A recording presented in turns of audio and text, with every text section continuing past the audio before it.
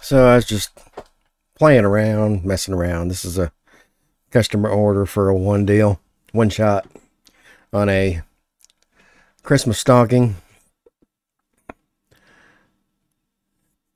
She wanted this font.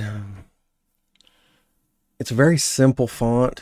There's not a lot of variations in the thickness of anywhere. So it's really simple. I'll show you a, a little easy way, a simple way to make a simple satin stitch font. And what I did is I created the text to follow. And then I turned the opacity down so I can see what I'm doing over the top. We've, we've been here before. But check this out. So far, this seems to be working. The stitch out will be the, the final judge on it. But I'm just going to follow this letter around right in the middle. Keep it as close as you can to right in the middle. Zoom way in if you need to. Do a lot of little little clickies, a lot of a lot of little nodes.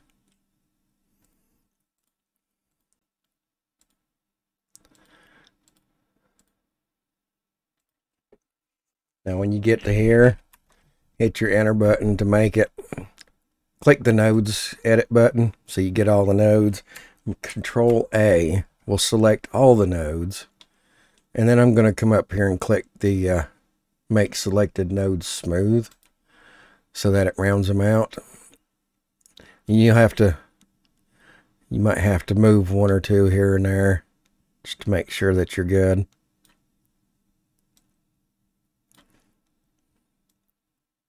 Nice and smooth. Now, I got my width from the very first letter. And once you start, remember what width you're using. So you can use that same width on every letter. This particular project, I'm at 2.2 on width. And this doesn't come together, so I'm going to make it come together a little better. I'm going to select, multi-select these two nodes and put one in the middle. And then I'm going to run this in a little bit more. Pull this down a little bit. Pull this one down a little bit.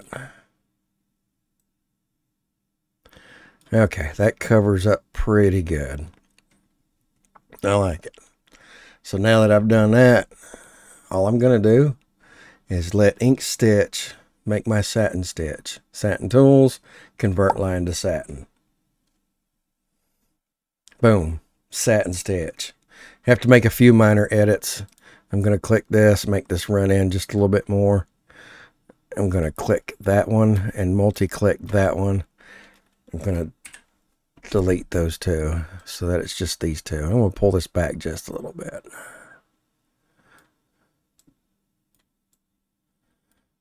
Okay, I like it. Okay, I like that.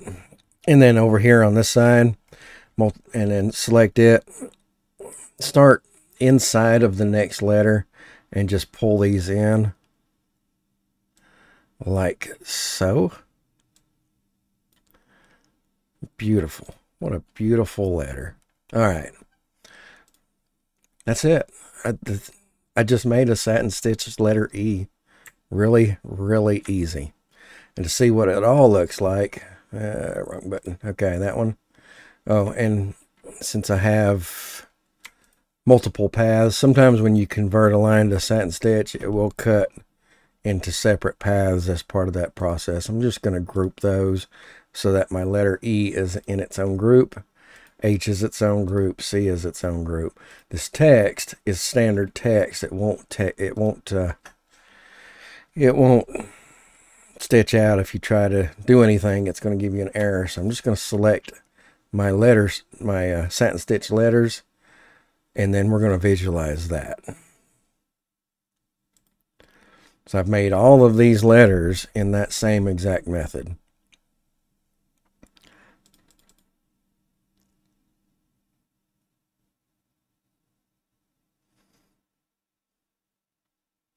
Go to click the realistic. Looks pretty good on on the uh, visualizer. it looks pretty good. I'm going to show you another one. We'll do the W. And on the W, you still have to do, you still have to think about your running stitches. So we're going to do a running stitch up to the top of this, this part of the W. Go in and select dotted line. So that's my running stitch. Now, we can go from the top and just make our way down doing the exact same method trying to keep in the middle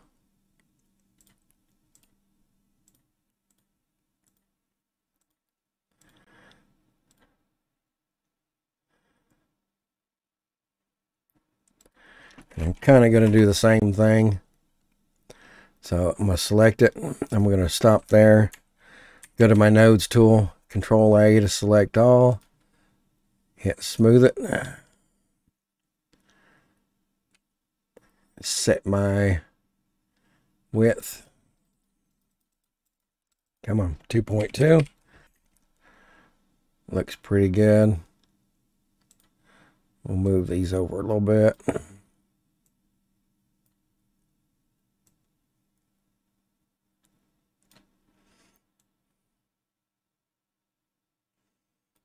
It's kind of a cheater way to do it, but it it seems to work pretty good. Okay, that's it. Convert line to satin. Boom. Now I'm going to edit this up here so that it's a smooth top. I'm going to pull this out a little bit.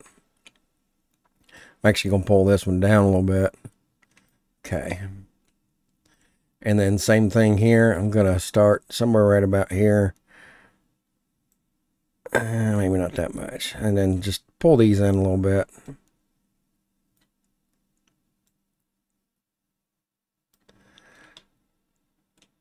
And then do another running stitch.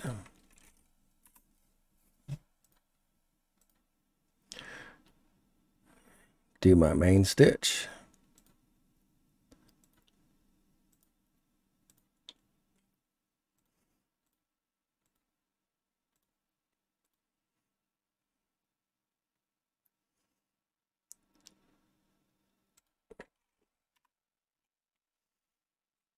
Nodes tool, control A, round it, see how it looks. 2.2.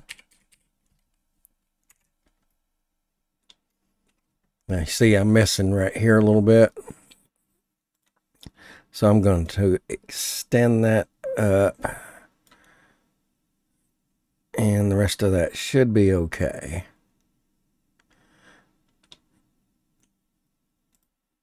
Let's get that to come up a little more and convert.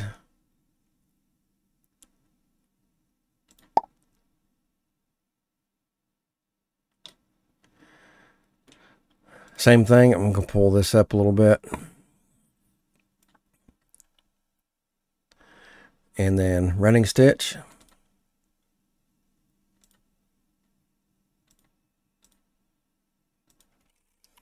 Oh, you know what? Let's go ahead and get that dotted line.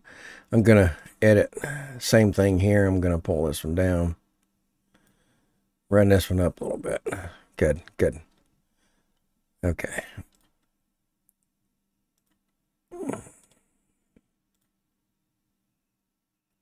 Now on this one, I want this one to end at the bottom right so that it can just pick up right here and come across and if it doesn't I'll show you how to switch it. I did it in another video but we'll we'll do it again if it if it does that. Don't really need to smooth that one so I'm just going to go straight into the 2.2 we're going to run this down a little bit. Uh, okay go ahead and convert ink stitch Satin tools, convert line to satin. Edit these nodes, bring this one down a hair, bring this one up a hair. otherwise it looks pretty good.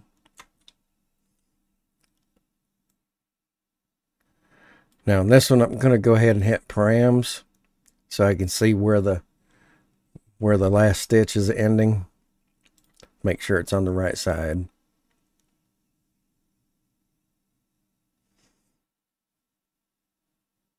It is. It's on the bottom. If not, if it if the last stitch was ending over here on the top side, if that was the case, just go to extensions, ink stitch, satin tools, and flip satin column rails. That'll flip that column around so that it ends on the other side. But it's good. Don't have to do that.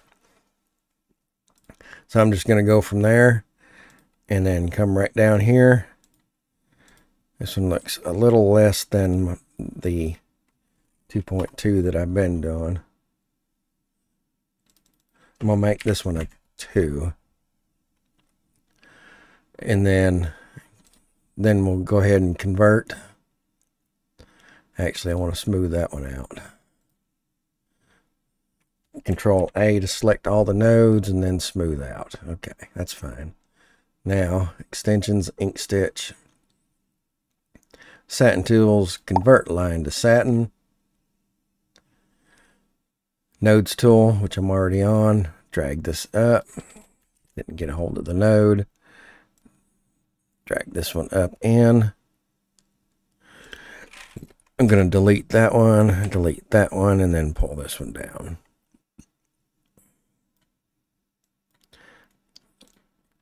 I'm going to select this node and then make it not wrap around. Okay. I could probably delete another node here.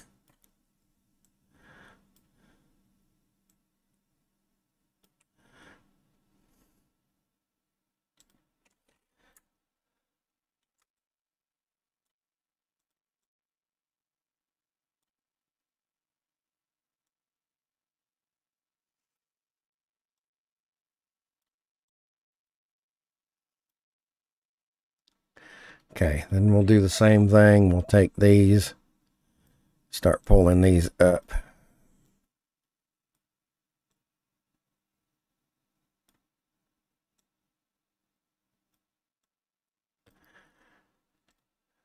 Okay, our W is done. And all of these, from the last one that I grouped all the way up, is my W. So I'm just going to select all those and group. Now I have a W group. Now I'm going to keep doing this. I've only got two letters done. I'm going to keep doing this, speed it up, and then we'll look at it at the end.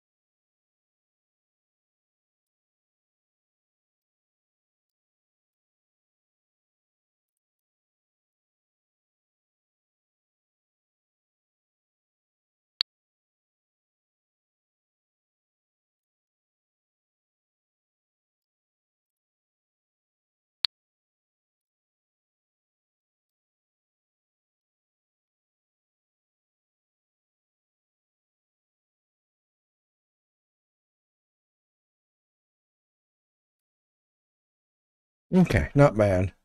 This little jump across, I'm going to have to do something with that. It doesn't look very good.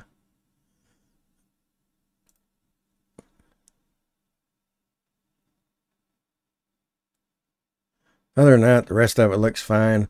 The reason that I made the dot on the I last is in case your machine doesn't trim, that'll be a real easy trim to be able to get a little pair of scissors into from that long of a jump and then that's the last thing to stitch so there's not going to be anything stitching over the top of it that's why I did that so I'm going to fix this right here and I'm going to take it to the machine and test run it see what it looks like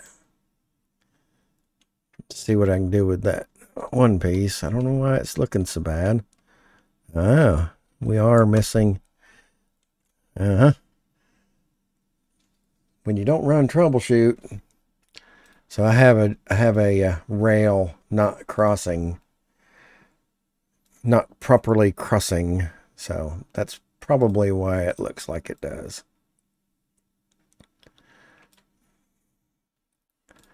So let's see if that looks a little better.